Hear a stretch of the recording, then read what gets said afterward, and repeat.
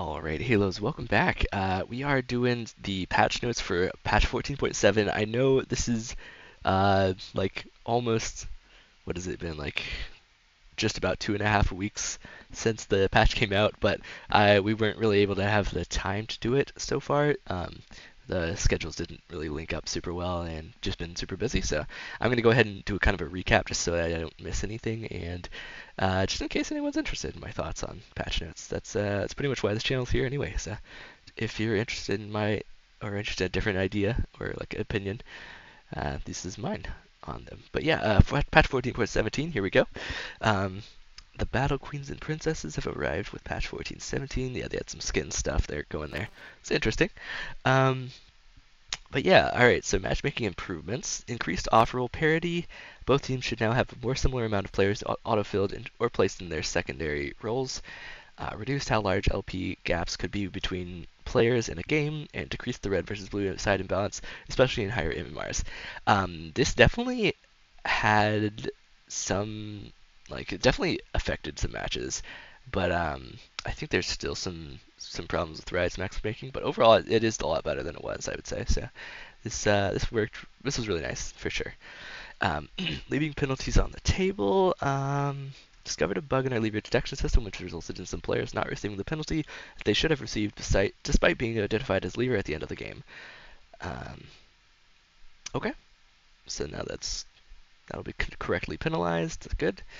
Um, Alright, changes to ready check. Uh, in order to address queue sniping and stream sniping, behaviors that both involve abusing ready check to disrupt a game, we've implemented new penalties for declining ready check. Players will still be able to decline the occasional game if you're otherwise occupied, but these new penalties will affect those repeatedly declining ready check in a short time frame. Yeah, these are really nice. Um, they'll start with queue lockout. The, ban- the penalties will start with queue lockouts and escalate to bans if they uh, repeatedly do that. So yeah, uh, there's actually really nice overall, I'd say. But there's definitely some situations where it's like a little too much, I would say. Um, but I, I, think it's helped overall. Um, I have seen actually, I think it's a couple days ago. I actually played and for a few hours, and uh, there was a lot of leave, uh, like a lot of, not as many like queue dodges, but like actual game dodges. There were there was several of those. There's a few like declined there was several declined ready checks as well, but yeah. Um, overall, I think it is better, but definitely needs some work, some more work, I think. um, update to ranked restrictions worldwide. Um, rolling out these changes to all regions. Ranked restricted players will be able to return to ranked games only after winning three matches in quick play, quick play or draft pick. Okay. Infernal Cinders adjustment. So, um, excuse me, the Infernal Cinder spawn cadence was 2 to 3 for every 14 seconds. Now it's 2 to 3 every 20 seconds, so they're less often spawns, um, but the uh, Infernal Hit Cinder haste per stack is now 1 full haste uh, instead of 0.6. So it's actually just overall better, I would say. Um, usually people weren't grabbing all of the, the cinders anyway, so I think this is just straight up better. So yeah. Um, and then Aurora it's actually really nice, actually. Aurora is our first champion on this list today. So we got uh, R between worlds. The damage is getting nerfed down, so it was 200 to 450 based on the, the rank of the of the ability, and now it's uh, 175 to 375. So um, down by 75 damage at max rank and down by 25 damage early. So yeah, definitely definitely a nice little hit there. I think it is does do a lot of damage, so I think it's probably fine. um, and then Ashe, her base health is getting nerfed here.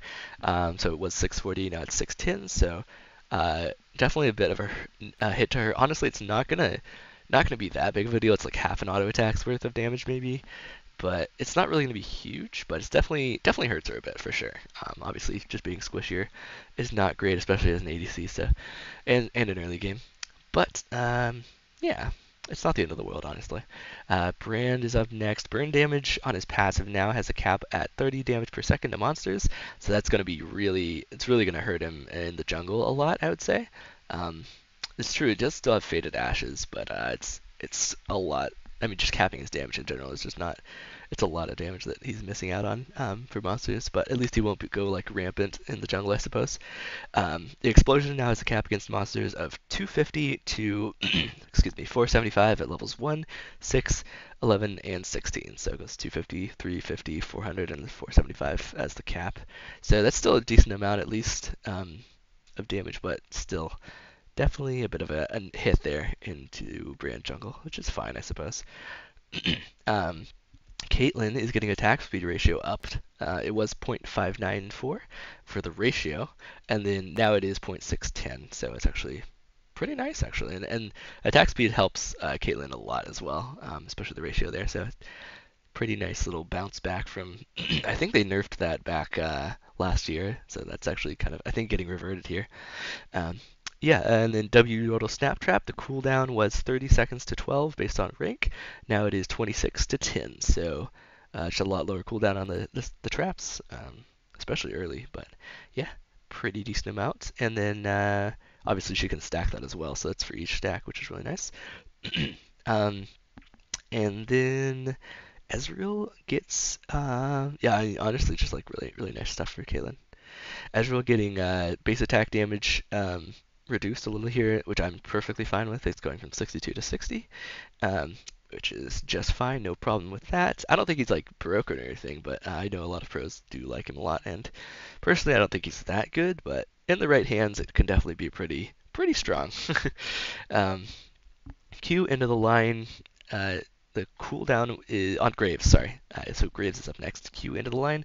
Cooldown on that is 13 to 7 based on rank, and now it was is 13 to 6 seconds.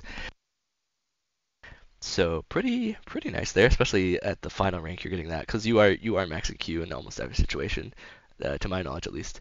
So um, just an extra second quicker that you get get that basically uh, is super nice, especially at max rank. Um, you can definitely feel it at the second to last rank as well not so much before, but a little bit. It definitely helps. Um, the initial damage was 40 to 105 based on rank plus 80% bonus AD. The bonus AD scaling is the same, but it's now 45 to 125, so it's getting 20 damage at the very end, uh, basically. I mean, it's it's getting a little incremental each rank past the first, but yeah, just a nice little bump for that. And then the maximum damage is 130 to 330, um, and then the change is now it's 130 to 350, so it just gets, gets an extra 20 damage, um, which is the exact same basically um, as the initial damage is getting. Uh, what five more? Yeah, 5, 10, 15, 20, uh, starting at rank two. Um, so yeah, pretty nice for Graves for sure. Um, I think he definitely could be pretty good, but I'm not sure how good. Uh, I kind of want to play him in lane again, but I don't think he's as good as he used to be. but he could work. Um, he still has Eclipse and like um, what's the other one? Collector and stuff. So yeah, if he goes for that route at least. Um, Katarina, we got Q Bouncing Blade um, is actually getting buffed here, so the flat damage is unchanged. Oh no, it's not. I lied. Uh, the flat damage was 80 to 240. Now it's 80 to 220, so you're getting 20 less flat damage at max rank in the end at least. Um, obviously, a little bit damage, a little bit less damage per rank as well, past the first, but you are getting 5% bonus AP scaling, um, so that's really nice. Um, overall, it's just slightly, slightly weaker in the early game. Not really that much because at at uh, max rank you're going to be level nine if you're maxing Q and nothing else. So yeah, um, this is not really going to matter honestly. It's just a straight up buff overall. Uh, so yeah, there you go. And then looks like they're trying to hit her on hit builds a little more by doing this. So I guess that makes sense. Yeah.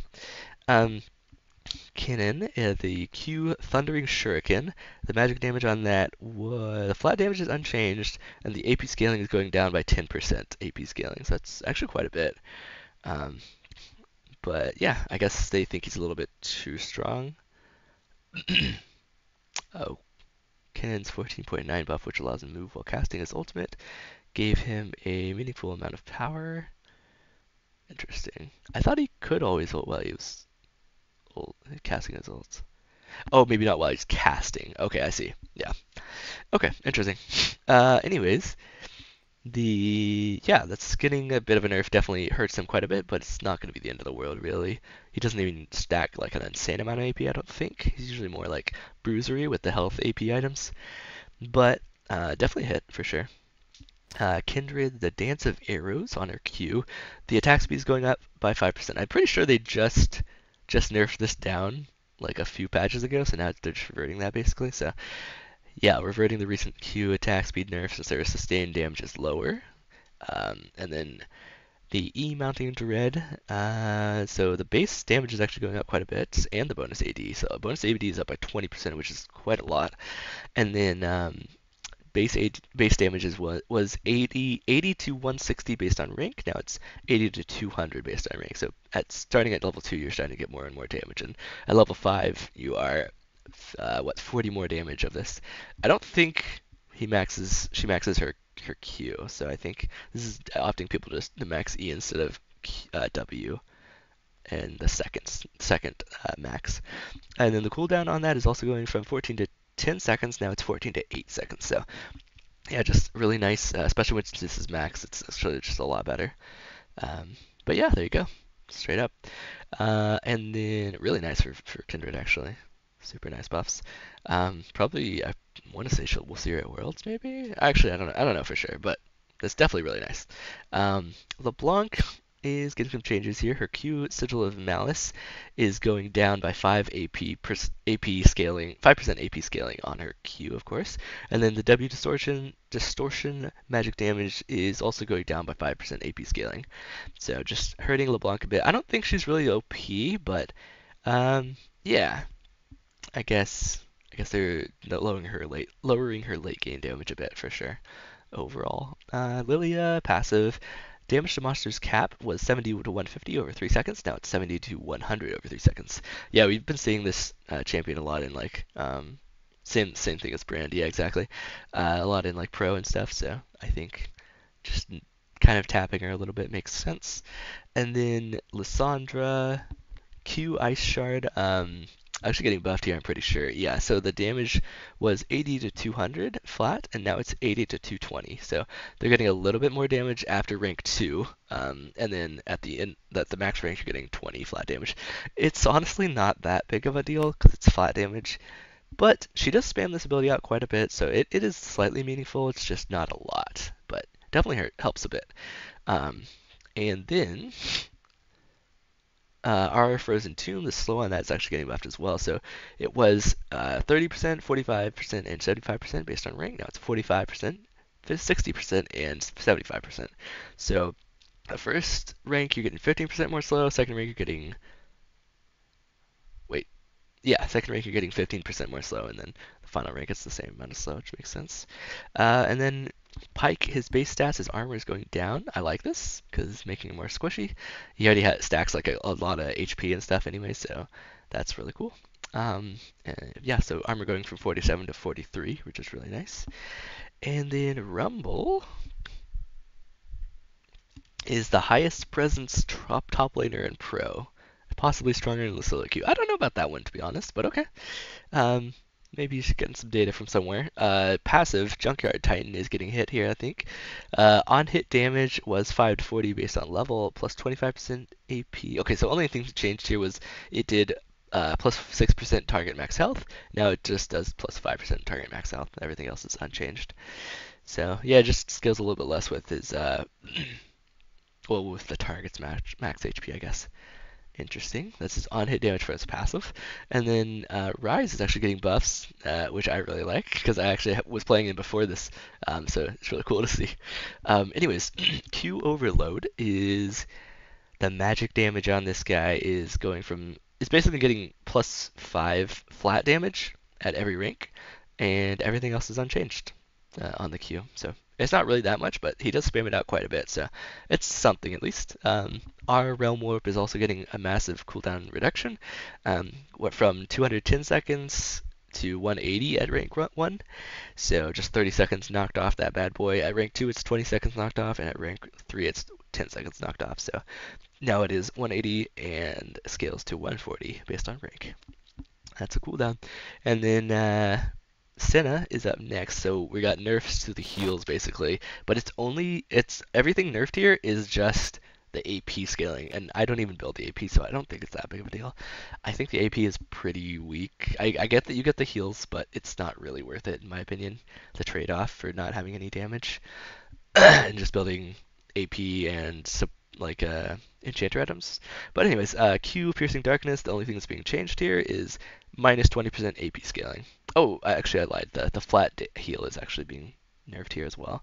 So it does hurt a little bit, but uh, it was 40 to 120 based on rank. Now it's 40 to 100, and of course, like I said, the minus 20% AP scaling. So it's now now it's uh, only 60% AP scaling instead of 80. And then now um, her R Dawning Shadow shield. Uh, the flat damage is unchanged, but the AP scaling is down by 20%, which literally doesn't matter to me. Um, that's fine. And then Seraphine is up next. We got W surround sound. Uh, some nerfs here for sure. I noticed this, and I don't think she's really that that broken, but apparently, apparently everyone is always maxing W or something. So, uh, yeah, the shield is going from 60 to 160 uh, based on rank flat to 60 to 140, and then the AP scaling is unchanged, but the big hit here is the cooldown. Uh, it was 22 to 18 seconds based on rank, and that's just a flat 22 at all ranks. So yeah, um, probably don't really want to put many points into W unless you're a, mainly an enchant, enchanter build, I suppose. But oh well, uh, definitely definitely hurts to be Seraphine, I suppose. Uh, Sylas, his W Kingslayer magic damage uh, is getting minus 10% AP. Uh, so it was 70% AP scaling. Now it's 60% AP scaling. So definitely a, a, bit of a hurt to a bit of a nerf to him. But yeah, um, interesting for sure. I think he is pretty pretty strong, but definitely nerfing him makes him a little bit weaker for sure. And then Twisted Fate is up next. We got Q wild cards. So what is being changed here? Just the the flat damage uh, was 60 to 220. Now it's 60 to 240 honestly, it's not that big of a deal. It's just flat damage anyway, so I don't think this really matters much. But yeah, um, interesting. oh, sorry, it's not a nerf. What am I saying? It's a buff. 240. But yeah, still, it's not that big of a deal. Um, it's just fine. And then Varus, uh, Q piercing arrow. The max damage was. Uh, let's see what has actually changed here. Oh, everything. Okay, so it was uh, max damage was 15 to 235, and then now it's 90 to 370 based on rank. So you're just getting a ton of damage uh, everywhere, pretty much, um, at the max damage, which is really nice. And then um, the AD, AD scaling has also changed here quite a bit. It was 125% total AD to 145%. Now it's 150% to 190% bonus AD. Okay, so it isn't total AD anymore. So it's bonus AD. That is a change for sure. That's probably why probably why they're they're buffing the base damage as well. But overall, I'm pretty sure that this is just straight up more damage off of his Q, which is I think he's actually pretty strong right now anyway. So uh, minimum damage still two thirds of maximum damage as well. So that's a nice thing to note there. Um, and then E hail of arrows. Uh, damage was looks like the flat damage is unchanged, but the bonus AD scaling is up by 20% more. So now it's 110% bonus bonus AD scaling instead of 90, which is really nice. Back in the day, he used to. Uh, I don't know if it was maxi, but it was definitely like put a few points into E early for sure, and I think it was his first first learned ability as well. So uh, it's pretty cool.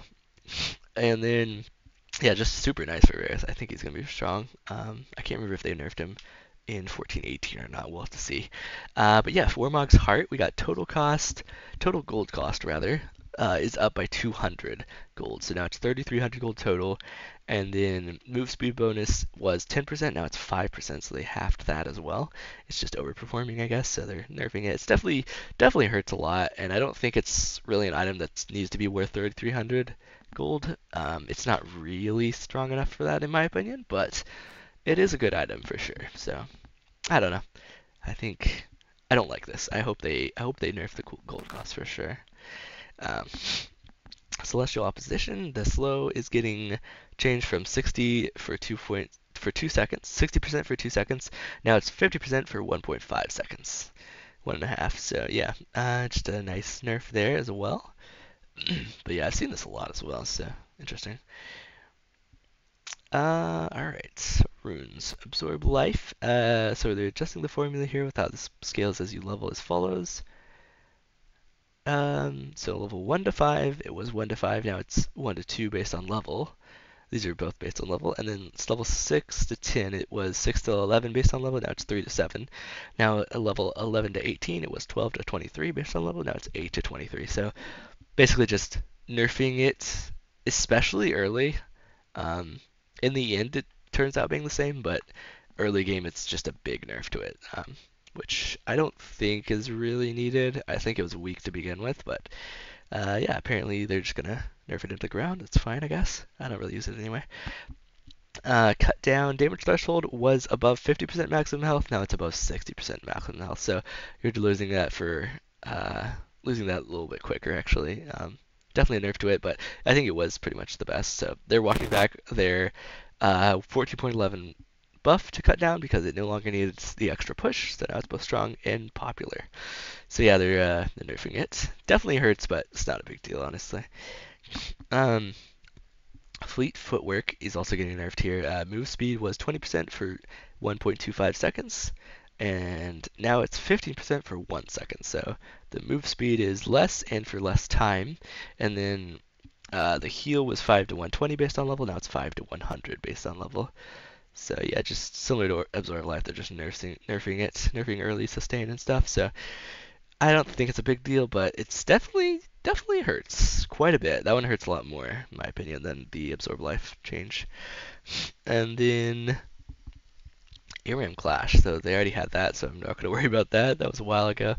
Uh, bug fixes and quality of life changes, buffered charged abilities. They're, they're changing stuff here for buffered charged abilities. Oh yeah, that's right. So now instead of smashing an, uh, a key uh, while you're CC'd, you can simply hold it down while you're CC'd and your spell will cast the moment you're free. So that is pretty nice. I, I don't know if I'll use it very much, but yeah, it's it's charged abilities here. Um, so like Briar E, Brilliant Soul Q, all the all of these ones. So Warwick Q is actually really nice too. To be honest, I do use that one quite a bit, so that one's pretty good. Diego Q's W is going to be pretty nice too. I think Poppy Vi-Q would be really nice as well. So there's definitely stuff. Varus Q, yeah, yeah. So yeah, there you go. A little bit quicker. Xerath Q as well. I'd use for sure. So yeah, and then um,